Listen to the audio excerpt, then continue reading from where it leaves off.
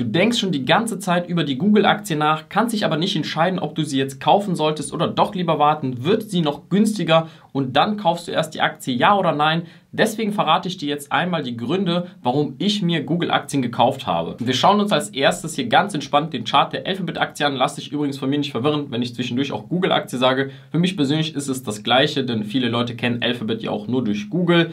Und wenn du dich jetzt fragst, okay, warum schauen wir uns als erstes den Chart an?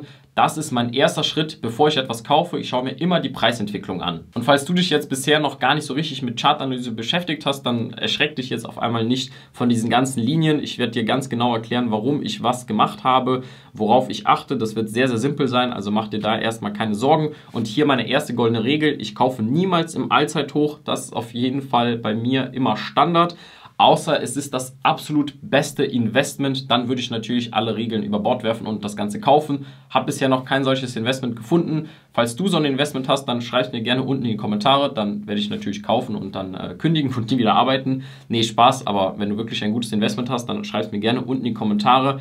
Auf jeden Fall, wenn wir uns hier einmal anschauen, wie weit die Google-Aktie schon mittlerweile abgestraft worden ist, dann sehen wir, wir sind hier knapp bei minus 15% im Minus, was tatsächlich mittlerweile im Vergleich zu vielen anderen Tech-Aktien gar nicht so schlimm ist. Im absoluten Tief hatten wir hier quasi minus 28% gehabt. Das war ja der Moment, wo wirklich alle Tech-Aktien dann sehr, sehr stark nach unten gefallen sind, teilweise manche über minus 90%. Ich sage ganz ehrlich, ich hätte am liebsten hier in diesem Moment auch gekauft oder in diesem Bereich gekauft, habe aber auch zum Beispiel euch letztens ein Depot-Update gemacht, wo ich auch ganz genau erklärt habe, in was ich investiere, wie ich investiere. Und da habe ich auch ja eigentlich ganz ehrlich verraten, ich bin ein armes Schwein oder ich habe halt einfach keine Liquidität zu diesem Zeitpunkt gehabt. Jetzt hat sich bei mir wieder einiges gewandelt. Dementsprechend habe ich auch wieder zum Glück Geld Aktien zu kaufen oder zu investieren. Ich weiß nicht, ob das bei euch auch so ist, aber ich äh, feiere das mega krass, wenn ich endlich mal Geld zur Seite legen kann und mich wieder mit neuen Investments beschäftigen kann, um dort halt eben einzusteigen. Und da habe ich mir auch 18 Google-Aktien jetzt gegönnt, äh, ein bisschen verteilt auf ein Comdirect und ein Trade Republic Konto. Ich habe nämlich zwei verschiedene Konten und das habe ich jetzt so ein bisschen aufgesplittet, habe dann auch so einen Kurs von 105 und 106 Euro erwischen können. Falls du dich jetzt fragst, okay, warum genau dieser Kurs, dann lässt sich das Ganze auch sehr, sehr einfach erklären. Ich habe hier so ein paar Linien eingezeichnet, das sind Trendlinien. Wir sehen jetzt derzeit bei der Google-Aktie so einen richtigen Trendkanal. Wenn wir uns das Ganze hier einmal anschauen, dann sehen wir hier immer wieder Higher Lows und Higher Highs. Das heißt, das Ganze ist sehr, sehr bullish. Und wenn wir uns hier diese Linie einmal anschauen, dann sehen wir, dass wir genau hier auf dieser Trendlinie eine Marke von 105, 106 Euro so ungefähr in diesem Schnitt dann eben haben. Das ist genau das, was wir berührt haben. Zu diesem Zeitpunkt habe ich meine Position eröffnet, habe nachgekauft. Die Strategie oder die Idee dahinter, die ich hatte, war, wenn diese Linie durchbrochen wird und das Ganze noch viel tiefer fällt, dann habe ich noch einiges an Geld, kann Dollar Cost Averaging betreiben und dann halt nach und nach kaufen. Leider ist es nicht passiert. Wir sind genau auf dieser Supportlinie hier stehen geblieben, haben so einen Bouncer gehabt und sind jetzt nach oben gegangen. Jetzt bin ich natürlich im Plus, habe aber leider nicht so viele Google-Aktien, wie ich es gerne gehabt hätte. Trotzdem muss man natürlich weiterschauen, wie sich der Preis der Google-Aktie entwickeln kann.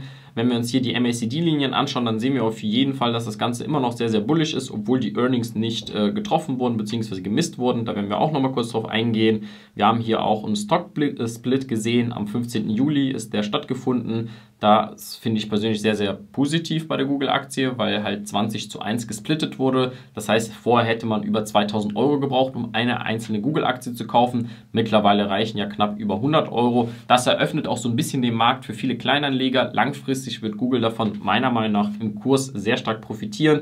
Der RSI-Indikator sagt uns jetzt derzeit nichts Besonderes. Wir sind mitten im Nirgendwo, also dementsprechend achte ich da jetzt nicht so stark drauf. Erst wenn wir wirklich eindeutig im Überkaufbereich sind oder im Überverkaufbereich sind, dann wird das Ganze dann relevant sein. In den anderen Videos, wenn ich darauf eingehe, werde ich das natürlich auch ein bisschen ausführlicher erklären. Hier ist es aber jetzt derzeit nicht relevant, deswegen kann man das getrost ignorieren. Übrigens fragen mich viele, okay, wie kann man denn traden oder wie kann man denn so einen Trade machen? Hier bestes Beispiel dafür, Leute, also wenn man einen Trade machen möchte, gar nicht zu kompliziert machen. Hier haben wir einmal die Trendlinie. Hätte man hier einen Trade eröffnet, dann hätte man hier jetzt ungefähr 7-8% ganz schnell machen können, was natürlich ein sehr, sehr cooler Swing-Trade gewesen wäre.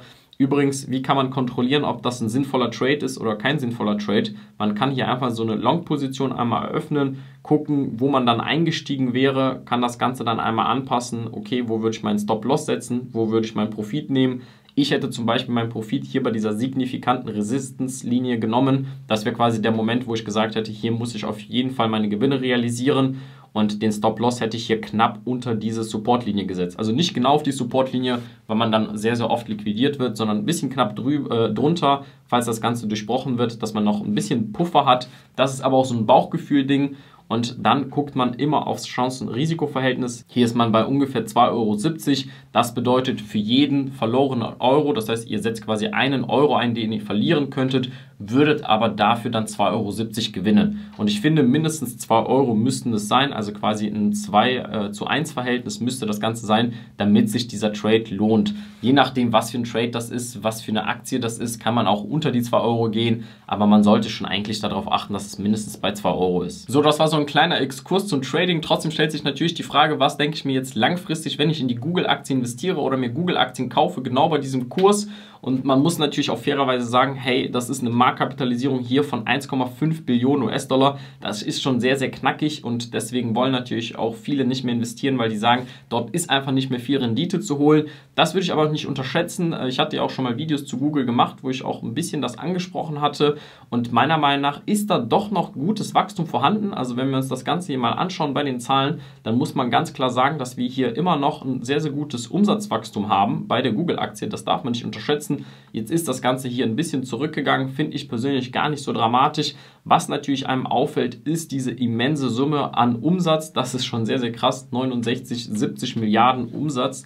Das ist schon echt heftig. Wenn man sich das anguckt, wo das Ganze dann eben herkommt, dann fällt einem natürlich sehr schnell auf, dass das alles aus diesem Google Advertising stammt, beziehungsweise generell aus Google. Was ein bisschen schade ist, ist die Google Cloud. Da kommt noch nicht so viel rum. Wenn wir uns hier die Zahlen mal anschauen, dann fällt einem direkt auch auf, dass das Ganze immer noch negativ ist bei der Google Cloud. Das heißt, das generiert immer noch kein Geld, sondern halt eben Verluste. Ich persönlich denke aber noch, dass die Google Cloud in den nächsten vier, fünf Jahren wirklich abgehen kann und da auch noch einiges an Cash gemacht werden kann. Zusätzlich ist die Google-Aktie einfach extrem stabil aufgebaut. Wenn wir uns das Ganze anschauen, dann sehen wir auch hier einen sehr, sehr hohen freien Cashflow von ungefähr 12,6 Milliarden. Das ist schon eine Hausnummer, Leute, ganz ehrlich. Meiner persönlichen Meinung nach ist das jetzt auch kein Investment, wo man die ganze Zeit Kopfschmerzen haben muss, Angst haben muss, wenn man schlafen geht, dass das Ganze insolvent geht, irgendwie umkippt, was auch immer.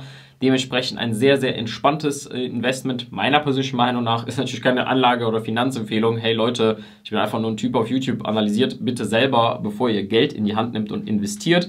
Aber ich finde das Ganze schon sehr, sehr krass. Was natürlich schade ist, sind die letzten Earnings. Äh, die wurden natürlich nicht getroffen und das ist leider nicht das, was die Analysten erwartet haben, denn die Analysten hatten eigentlich mehr erhofft oder mehr erwartet. Wenn man das Ganze auch hier in den Vergleich zieht auf Handelsblatt äh, zum ersten Quartal 2021 und dann hier quasi nochmal dieses Quartal anschaut, dann sehen wir, dass das Ganze sogar noch zurückgegangen ist. Was aber wiederum positiv ist, ist die PE-Ratio, denn wenn wir uns die PE-Ratio hier einmal anschauen, daran kann man so ein bisschen für sich rausfinden, ob es derzeit eher günstig oder halt eben teuer ist bei Google. Auf jeden Fall meiner Meinung nach derzeit sehr, sehr günstige PE-Ratio. Wenn wir uns das angucken, in der Vergangenheit waren wir die ganze Zeit eigentlich drüber gewesen. Teilweise natürlich sehr, sehr extrem im Allzeithoch bei 58. Davon würde ich jetzt nicht ausgehen, dass wir das Ganze jetzt äh, sofort wiedersehen. Wir sehen aber doch eigentlich schon eine Tendenz bei der Google-Aktie, dass meistens man sich hier drüber befindet und man muss auch ganz klar sagen, der Durchschnitt liegt ungefähr bei 27 bei der PE-Ratio. Dementsprechend muss man einfach hier zugeben, derzeit ist die Google-Aktie schon relativ günstig. Das ist einfach nur so eine ganz kurze Meinung von mir, was ich von der Google-Aktie halte, warum ich die gekauft habe. Hey, schreib mir einfach gerne unten in die Kommentare, was du von der Google-Aktie hältst, ob du das Ganze auch feierst, ob du investiert bist, vielleicht überlegst zu investieren. Und wenn dir das Video geholfen hat, lass mir gerne einen Daumen nach oben da, abonniere den Kanal mit Glocke und dann kriegst du natürlich auch weitere Updates von mir.